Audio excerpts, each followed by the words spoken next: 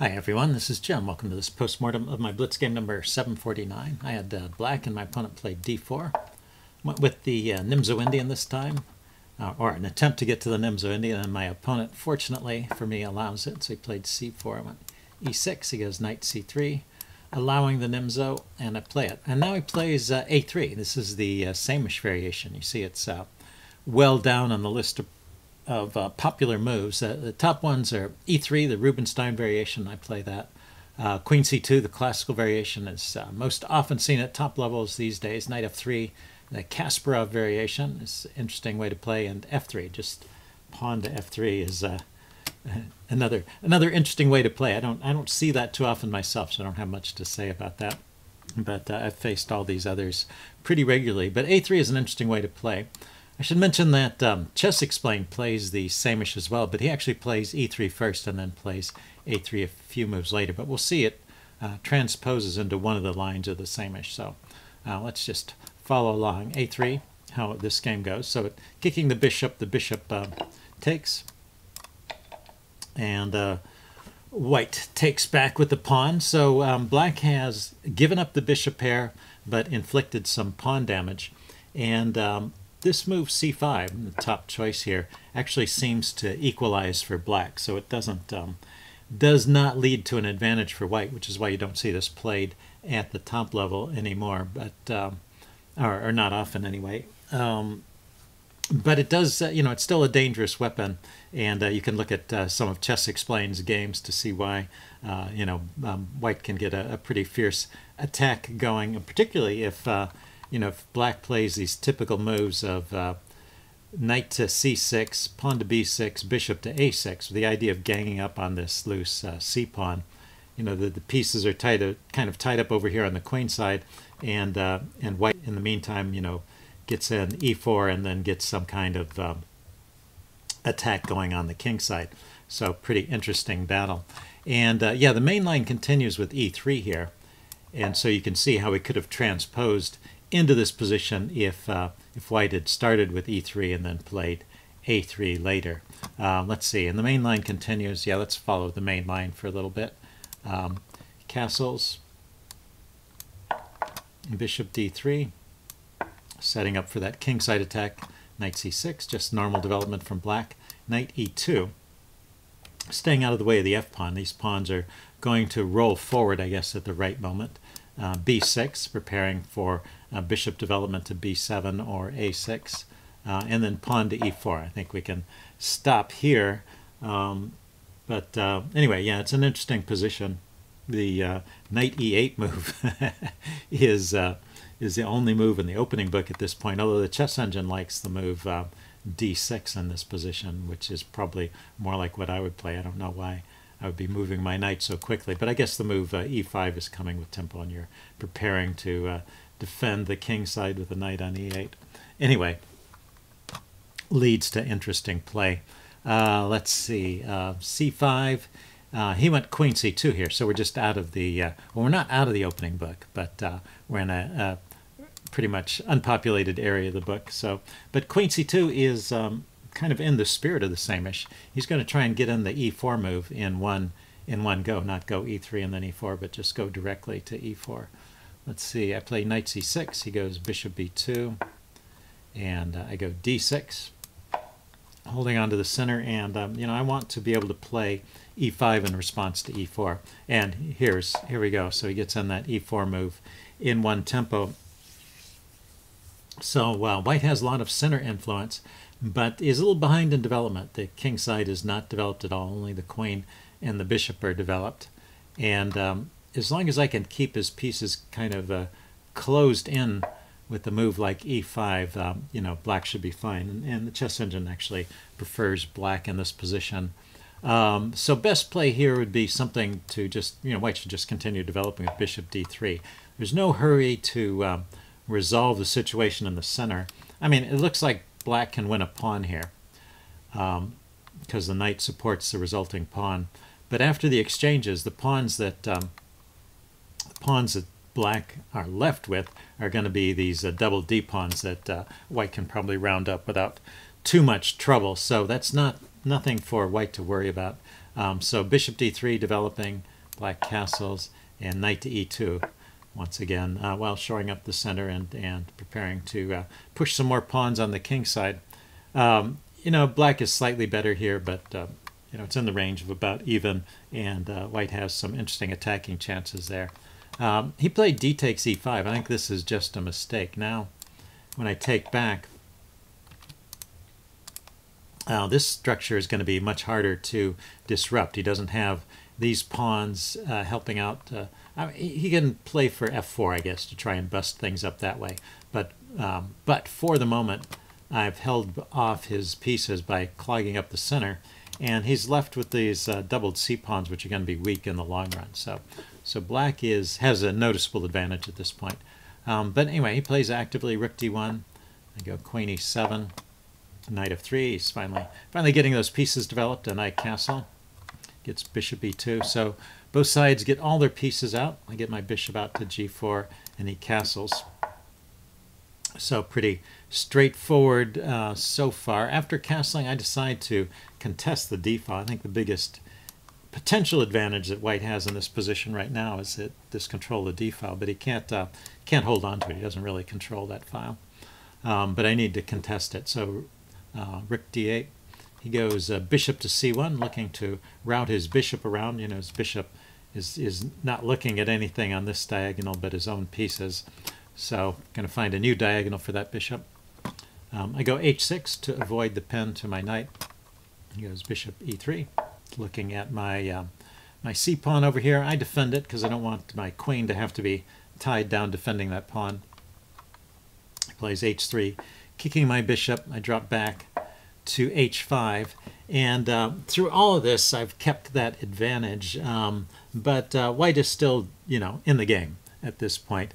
Uh, but knight h2 actually should lose. I, uh, I didn't spot the idea here.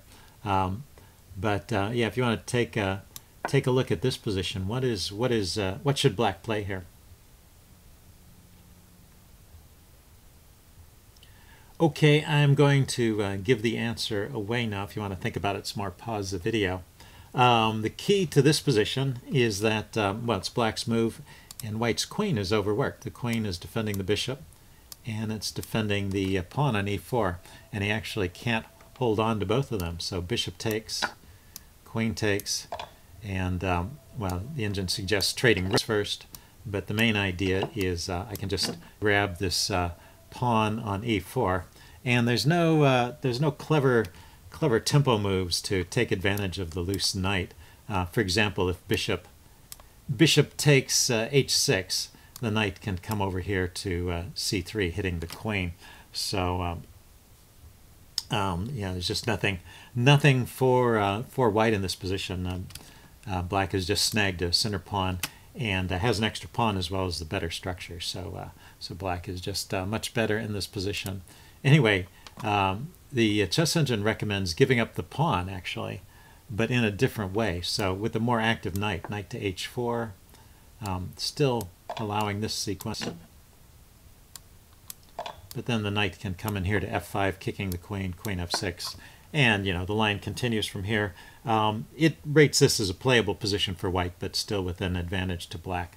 But um, but after knight h2, I should just be winning with that idea of exchanging the rook and grabbing the pawn. I guess because uh, on top of winning material, also his knight is not so active as in that other line.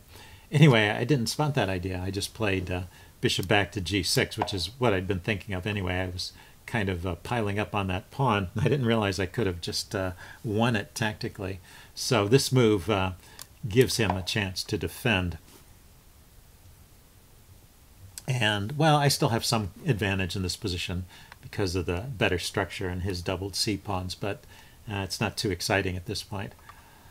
Let's see, I go knight h5. I'm looking at some of these dark squares here, uh, maybe hopping into g3 or f4 played bishop to f2. He didn't want my knight coming into um, g3 there. And I play f5. And notice that uh, through all of this, his knight went to h2, and it's just kind of staying there. And it stays there for a long time, and that constitutes uh, a lot of my advantage in the uh, in the game at this point is that, you know, in addition to the doubled pawns over here, his, his knight is really out of play. Um, now, there's there's one thing about this f5 move that I had overlooked, and it turned out uh, to work out okay. There was never a chance for uh, for white to get an advantage out of this, but I, I did miss the idea that um, he could play g4 at some point and fork my two pieces after this exchange. But, well, first of all, I take, and it's a tempo on the queen. The chess engine recommends just uh, moving the queen to the side. Um, and then I could continue with a move like knight f4, you know, taking a look at this uh, bishop, which has uh, no squares. So, um, you know, I can force a trade of that bishop. I'm also looking at uh, maybe sacrificing over here if the circumstances are right. And I'm also just getting away from that uh, pawn to g4 fork. So this is all good for uh, black, um, but that's the best play, keeping, keeping an advantage with black still. He played queen to a4, which is uh, actually a mistake, but it's kind of a tricky move. You can see he's got uh, he's moving the queen with tempo, hitting my knight, and the idea is if I pause to defend the knight, then he's going to play this uh, fork. It just doesn't uh, turn out so well for white because uh, at the same time this move queen a4 that attacks my knight also leaves his bishop undefended so I can take advantage of that and escape the fork. But, uh, well, I should have calculated this a little better ahead of time. I should have noticed that I was walking into this fork and had had this uh, prepared in advance. Instead, I had to find it on the fly. But, uh, well, it was there to be found. In fact, I could play knight f4 immediately, and uh, it's kind of interesting here. Knight f4, uh, if he takes, I take here with check.